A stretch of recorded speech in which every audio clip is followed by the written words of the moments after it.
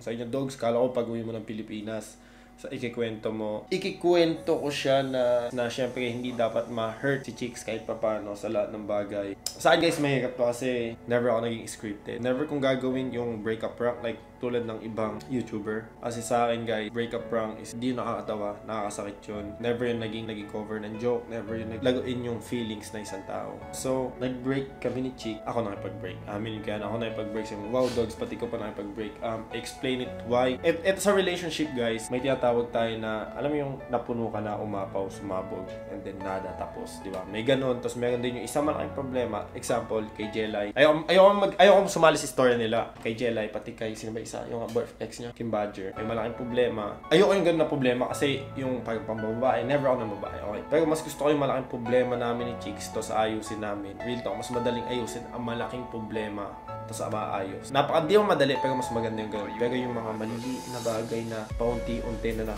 Et, unyari, ito yung feelings mo, may isang ano maliit na bagay, away, maliit na bagay, away hanggang napuno na wala ka naman ginagawa masama, ikaw pa rin nasisi. Alam mo yun, yung parang ikaw pa rin yung may mali, ikaw pa rin yung ganito, ikaw pa rin yung ganyan. Habang tumatagal, napupuno. Pag sumabog yan, sabog talaga. Ganun yung sa akin. Hindi ko na-open up dito sa Ether House. Okay?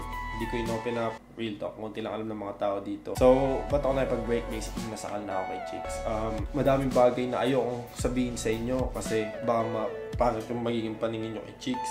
Ayoko masira career niya. Mahal ko siya. Mahal ko, siya, mahal ko si Chicks. Pero sometimes, person need to learn from their mistake. And to do that, kailangan nilang ma-experience yung ganito. Kailangan niya mag-mature. Kailangan niyang mag-adapt sa sitwasyon. Kailangan niya to find way and stand up on her own feet. Kasi ngayon sa akin guys, lahat talaga nakasandal. Pressure sa akin. Dito ako sabihin ko sa inyo, malaki. Pero iniinda ko yun. Yun nga, napuno ako kay chicks, mabog ako. Doon na nagsimula yung ano namin, every little things, naiinda niya. Sabi mo, dogs ba nang babae ka?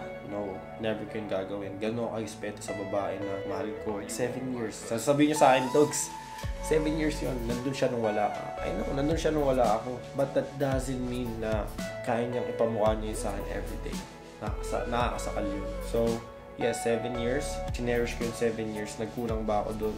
Maybe. Maybe na. Maybe yes. Maybe yes. Sabi natin. Nagkulang, sabi natin, saan ka ba nagkulang, dogs? Baka nagkulang ako sa time. Nung simulan umuwi kami dito sa Philippines, masyado akong focus sa team, masyado ano. Pero bago kami umuwi ng Philippines, nag-usap kami. Beng, if ever na uwi tayo ng Philippines, focus tayo sa work, and then maybe after 3 years, doon na tayo mag-settle down Yes, yun. Let's just focus on to work, work, work, work, work. And then, if nakaipon na tayo, settle down tayo. Bili tayo ng bahay doon. And, yeah, I know na, pag nag, di na kami nakapag-date, ano naman nakapag-date kami. Nakapag-date kami, time to time. Pero pag nag-date kami, syempre, minsan kasama yung team. Nawalan ba ako ng time sa kanya? Yes. But for the six years, no. Six years kami nagsama. Siya priority ko sa lahat ng buhay ko. Uh, siya naging priority doon from day 1 until day June 20 7 di na kami nag-uusap. Cold na talaga. Kasi napuno ako. Sure ka sasabihin ng mga tao ngayon sa comment, kung mahal mo dogs, ipaglalaban mo. Beyond my spot. Lalaki ka. Lalaki kami. May feelings kami. Pag ang babae, dinodominant kami sa tapat na ibang tao. Masakit. Tao, tao, tao kami. Hindi kami porket lala lalaki kayo. Dapat gawin niyo yan. Dapat ganito, suyuin niyo yung babae. Suyuin niyo yung ganyan. Suyuin niyo ginawa ko lahat. Ilang beses na kami nag-away. Take note ako. Siya pa rin priority sa buhay ko noon. Sabi mo, dogs kasi naging famous ka lang. No, never ako kinain ng fame. Ako, never ako naasag sa fans pag nagpapakuha ng picture. Never ako nagalit sa fan. Never, never ako huminti. Kasi kayo nagbibigay ng pagkain sa pagkainan. Kayo nagpapabuhay sa akin. Kayo nagpapabuhay basically sa buong tao dito sa AE House. Alam niyo yun. Kayo yung dahilan bakit ngayon, without you guys, walang ganito. So, yeah guys, yung mga nagtatanong din dyan na Dogs, nakita namin sa vid sa live mo si Chicks. Um, Ha? Di ba? Si Chicks yun, no? Si Chicks yun. I mean, yeah, whatever. Kung sa amin, Chicks, wala na nga, guys. Dito lang siya para maganap ng bahay. For the meantime, naghanap siya ng bahay na malilipatan. So, pinapa-stay ko muna dito si Chicks para makahanap muna siya ng bahay, nililipatan dito. Like I said, pag may nangyari sa kanya, ako mananagot, syempre. So, gusto ko makakuha siya ng bahay na maganda, maayos. So, naghahanap siya ngayon ng bahay. So, yung mga tao nagsasabi, oh, hindi naman totoo. Nasa inyo na yan. So, at the end of the day, so pa rin siyang tulungan. Yeah, ayun yung, yung reason ba't siya dito ngayon sa A house. Kasi hindi madali maganap dito ng bahay sa Philippines, sana sa Pampanga. Ito na muna siya for the time being. Yun nga lang, napaka-awkward, di ba? Uh, dito, karabi kayo, hindi, natutulog ako ni Chango. tabi kami ni Chango.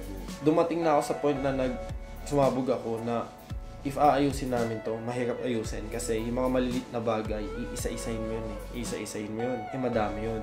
Eh, kung yung malaking problema na lang. Wag naman yung pambababae kasi iba na yun eh. Like I said, pag nang babae ka, if you can do it once, you can do it twice again. So sa akin, kaya hindi ako ng babae kay chicks kasi ayoko papunta sa ganun na sitwasyon. Hindi ako ng babae guys. Tanong nyo kay, tanong nyo kay Royce, kay King FB, kay TR, kay Tira, sa lahat ng tao sa AE House yung Facebook ko na nakabukas sa malaking TV sa Salas.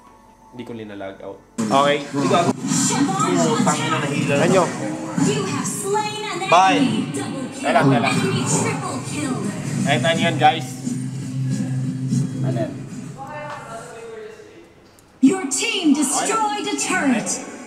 Nakita, nakita nyo yun guys. Lagi nakabukas Facebook ko dito. Lagi nakalapag yan sa TV. Never kong sinasaka. Wala akong tinatago. Kaya balik tayo sa pamaingay dito eh.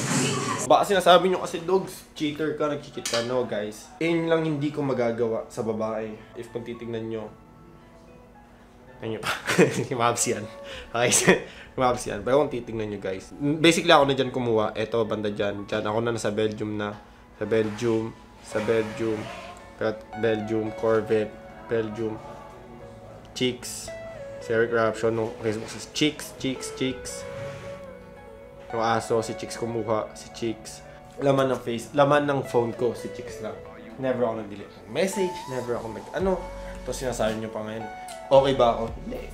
I mean, kan, hindi ako okay. Pero kailangan mo talagang gawing semento yung puso mo para malaman niya yung sitwasyon para magbago siya. Ayun yun guys. Basically, ayun yun. Um, kailangan, kailangan, kailangan niya talaga hindi ko na alam. Parang ang dami kasi guys ng problema guys. Sabihin ko sa inyo, if ever mag-uusap kami, hindi ko alam kung saan magsisimula. Pero naglabis ba ako sa pagmamahal? No, never. Minahal ko siya ng todo. Minahal ko siya, mas labis, ma- parang masakit man to sa pamilya ko, pero mas priority ko siya kaysa pa family ko. Alam niya ng family ko, mas mahal ko siya kaysa family ko.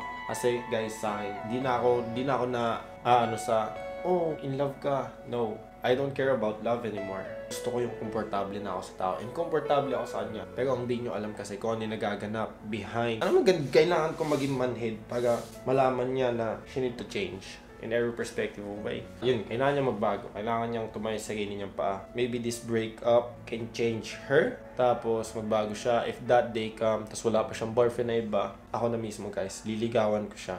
Tulad ng ginawa ko nung ninigawan ko siya. Niligawan ko ba siya? Yan, pasagot ko agad, malupit ako eh. Sa Loads, awit sa'yo. De. De, liligawan ko siya like nang ginawa ko noon. Alam niya yun. Alam niya yun. Alam ng magulang niya yun na priority siya. Alam niya ng, alam ng family niya na naging priority siya sa buhay ko. Every decision making na ginawa ko, kasama siya. Masa masakit ngayon ino-open ko kasi ngayon na tumatama sa akin. Nandun kami sa high and low. Hindi ka palagi nasa tuktok. Bumabagsak ka din. If sasabihin ko yung reason lahat na yan, matagal yan. And ayoko sabihin yung reason kasi in the end of the day, privacy pa din namin yung dalawa. And it's up to her. Kung gusto niya gumawa ng statement sa akin lahat, okay lang. She deserve it. She deserve, she deserve na pwede siyang gumawa ng statement sa pananaw niya. And, mean, ko ako nakipag-break. Madaming reason, pero sinasabi ko na sa inyo, parang breakdown ko na kasi sabi niyo, Dogs, ba't ngayon, ba't link? Ayun nga, daming project, tapos hindi ko alam paano ko sasabihin na, alam mo yun, hindi maaapektuhan yung fans niya. Which is, in the end of the day, maapektuhan pa din fans ko, fans niya, and fan base namin dalawa. Pero kailangan. Tandaan nyo guys, sabi nagsabi, madami nagsabi may second chance. Alam niya, sa tagal namin nag-away, ilang beses ko na nabigyan ng chance. Yes, nagkulang ako nung nandito ako sa Philippines. Pero pinag-usapan namin yan. Ang masakit pa doon, pati pag ml ko. Pinipigilan niya, yes, nandun ako. So yeah guys, um, sabi niyo, dogs, masakit? Oo, masakit guys, but you need to man up, man. Like I said, yung mga babae dyan, man, kung natitiis ng boyfriend nyo na ginagano nyo sila, in the end of the day, susuko yan. You need to respect your boyfriend. Yung boyfriend mo, pag nag-cheat, then break, break, break, break mo na yung boyfriend mo. He doesn't deserve you at all. Pero kung hindi naman nag-cheat, tapos pinupurga mo pa, mais ka. Eh, parang, hindi naman naglolo yung boyfriend mo ba napapupurga yun, di ba? Parang, nandun yung mga lalaki dyan na napupurga namin. Man up, man. Normal lang sa lalaki na sumuko Normal lang sa lalaki na bumigay. But like I said, don't cheat. Don't ever cheat sa girlfriend nyo. If gusto mo mag-cheat, just break up and then maghanap ka ng mga babae. Pero never ever cheat. Basta sabi mo, Dogs, baka na-love kasi yung babae. No. Never. Never. Seven years na yun, wow, sabihin ko sa inyo, mahirap maganap ng babae. Seven years na yun, syempre, hindi mo mawawala yung super komportable ako sa tabi niya, yung parang pag natutulog ako, na-miss ko lahat, yung, pos- yung posisyon ng tulog ko, na-inlove ba ako sa babae ngayon? No, hindi. May kinakausap akong babae ngayon? Chat. Dami nagkichat sa akin ngayon. Real talk, ang dami guys. Pero dumating ba sa, sa pananaw ko na ayoko na? Yes, ayoko na. Pero dumating ba sa pananaw ko na may chance? Yes, may chance na magkabalikan kami ni Chicks. May dadating, dadating pa ba yung panahon na magbabago siya? Ay, hindi ko alam. Na big question mark sa utak ko. Totoo lang guys sa inyo. Kasi dogs, kinain ka na ng fame mo. Hindi ko gusto sumikat. Gusto ko lang mag-ML. Kung mag-ML, gusto mag-ML, gusto ko mag-ML. Sumba yung nasa, kung nasaan ka, yes, I like it. Enjoy. Kasi pag lumalabas ako, na, nakikita, dogs, power sa'yo, man. Ibang klase. Ibang klase support ng tao. And I know, madaming tao madidismaya dito. And madami din babae na, dogs, kung mahal mo talaga, gagawan mo ng paraan. Sometimes, you need to learn from your mistake. Ganon. Yung mga babae naman dyan na magsasabi na, oh, mahal mo, gagawin mo lahat. Lalaki kami, may feelings kami, nasasawa, nagsasawa kami, napupurga kami, nasasaktan, and sometimes di na namin kaya, sumasabog, ganun. Ang lalaki umiiyak yan. Kung di ka umiiyak na lalaki, men, ibang klase ka. Normal lang sa lalaki umiyak, normal lang sa lalaki magbukmok, normal lang sa lalaki na masaktan, and normal lang sa lalaki sumuko. Pag sumuka, that doesn't mean that you lose. May ibang opportunity, may ibang biyaya. Malay, ito nga sabi ko, di ba, pagka nagbago siya or makita kong kaya niya nang magdaan sa gilid niyang pa, nagbago siya. If wala pa siyang boyfriend, ako na mismo mangliligaw sa kanya ulit. Pero kung may boyfriend siya, then I'm happy for Magka-boyfriend man si chicks na iba, na mas mabuti sa akin or sabi natin na nag-iba siya tapos doon niya tinuon sa bago niyang boyfriend. I'm super happy for her. Totoo lang, magiging masaya ako para sa kanya. And if I don't find the one that I love, then sorry for me. Diba? Ganun lang yan. And right now, sinasabi ko to, ni-express ko to sa inyo. Non-scripted, nothing. Hirap, man. Mahirap. And if may comeback pa, I don't know. Pero right now, guys, talagang punong-puno na ako, guys. Sa dami ng problema. Sa dami ng... Hindi lang... Tanggalin nyo na yung ano. Tanggalin nyo na yung problema sa i-house yung mga player. Wala yun. And nor- basically, normal lang yun sa relationship. Pero kung everyday, ah, wala ka namang ginagawang mali. You're just doing kung ano yung trabaho mo, kung ano yung, pag- yung di ako lumalabas ng bahay. Kahit kanino nyo itanong dito, the bootcamp, di ako lumalabas ng bahay. Labas lang ako pag pupunta ng SM, bibili, mag-grocery. Kailan ako last na inom ko? Um, wala pa sa, nung simula nung dumating ako dito sa Pilipinas nung last year October, wala pa sa sampu na nag-inuman kami. And yes, mahal ko si Chicks. Hilig ko din siya. Ano, eh, sabi niya, eh kung ano pala, hiling pala si Chicks, eh, di pag may problema, ano, pina, inaano niya sa akin. Alam mo yun, yung problema, yung problema niya, eh, hindi yung problema, yung problema namin, parang ako pa yung mali. Parang sinisisi niya sa akin lahat. Ba't ganito? Ba't ganyan? Ba't ganyan? Ba't ganito? Ba't ganyan? Eh, I'm fucking single day, man. Kung pwede lang maglagay ng camera sa, ta- sa kwarto namin bago matulog. Pero ininda ko ba? Hindi. Pumutok lang talaga ako, guys. And then, nung pumutok ako, out yung two weeks na hindi kami nag-uusap, nanlamig ako sa kanya. Bigyan ko na space sa sarili ko. Yun, bigyan ko na space sa sarili ko. Tapos nag-isip-isip pa ako nun. Sabi ko, kailangan niya tumayo sa sarili niya pa. Masyado, masyado, masyado siyang nakasandal sa akin talaga. Which is, I got her back. To be honest, I got her back in every single way. Pero may mga bagay na kailangan niya mag-decide para sa sarili niya. Hindi lahat sa akin. Ganon din sinasabi ko sa player, ganon din sinasabi ko. Ba't niyo pa sinasabi sa akin? Nasa inyo na yung decision. Kung di nyo, kung, kung di nyo kayang gumawa sa sarili nyo ng desisyon sa buhay, wala kayong mapupuntahan. Kailangan nyo dumiskarte. Dumidiskarte ako guys. Ako yung taong dumidiskarte sa lahat ng bagay. Do I love chicks? Yes, I do. Hindi mawawala yung 7 years guys. Pwede ba kami magkabalikan ngayon? No. Not yet. To be honest guys, sabihin ko sa inyo, nung MSC, sabi ko, pag nanalo Bren or Archangel sa MSC, magpo-propose ako sa kanya sa stage.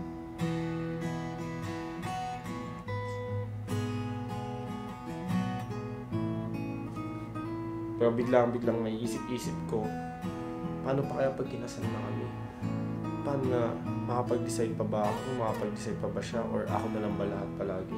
Sasabihin nyo, Dok, sumuko ka kasi. Hindi masama sumuko, guys. Dahil, hindi dahil sumuko ka dahil mahina ka, no. Sometimes, kailangan mo talaga sumuko. Pag may makita kang ibang pathway, may ibang daanan na mas maganda pala pagka sumuko ka kasi mas maliliwanagan ka. Hindi ka palagi dapat tumatakbo. Kailangan mo huminto. Tingnan mo yung paligid mo. And hindi, ka din dapat palagi nakahinto. Kumalaw ka. I mean, there's so many word of wisdom, guys. Sa totoo lang ngayon, to be honest, real, real, real, real talk. Masakit, no? I mean, masakit. But nasa posisyon ako na, she need to learn, man. She need to learn. Kahit alam naman niya kahit ano sabihin ng ibang tao, sa likod, nasa likod niya ako. And sometimes dapat isipin niya na, paano pag wala na ako? Pag one day, nagdadrive ako na masagasaan ako. Patay ako. Paano pag one day, tangina, binagit ako sa labas? Paano na siya? Kailangan niya makita yung mundo sa sarili niyang mata, sa sarili niyang pinatatayuan sa lahat ng bagay. If that day come, lili ako liliga liligawan ko siya para mabalik siya. Pag may boyfriend na siyang iba, I'll be happy for her on her behalf. Kung di man ako makalat na iba, then karma's on me. Life is... Yan nga. What goes around comes, Comes back around. around. Comes Diba? around. Comes around. Ayun nga, in terms, yeah. So, yeah guys, sana yan pa din kayo masusuportahan nyo ako. I mean, kasi hirap i-describe lahat guys.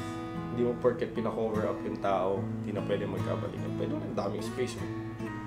Diba? Hindi, I mean, real talk guys. Tattoo lang yan. Sayet, Lods. Awit sa'yo. Peace guys.